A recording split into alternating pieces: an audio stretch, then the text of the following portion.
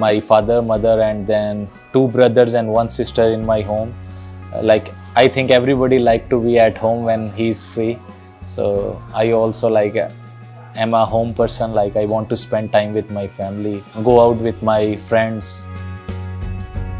Like for me, like cricket was much interest, and then like I started to playing cricket, uh, thinking that I will become a like good cricketer and will represent Pakistan at some stage.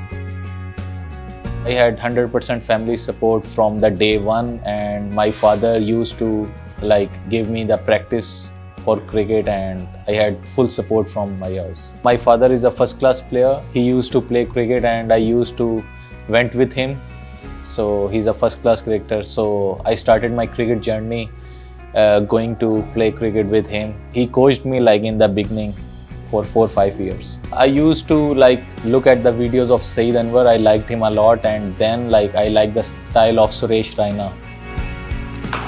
I am playing uh, like competitive cricket first class from last 12 13 years. I am been away from the home.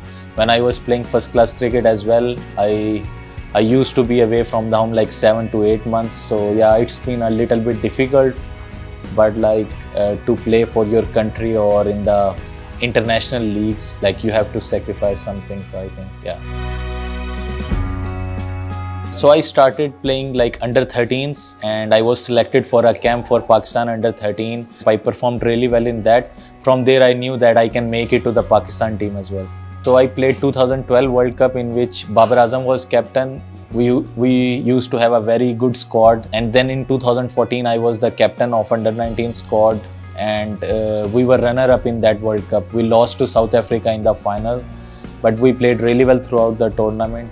Up till now as well like i have been the highest scorer in under 19 cricket history up till now i think. Second highest or so i think that's a like big achievement for me as well.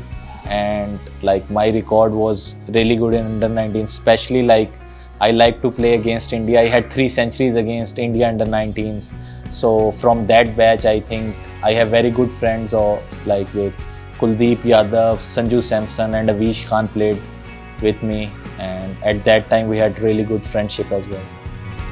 It was a really good experience. And like on stats like i had a very good uh, record as well. Like I won, I think, 23 out of 28 or 29 games.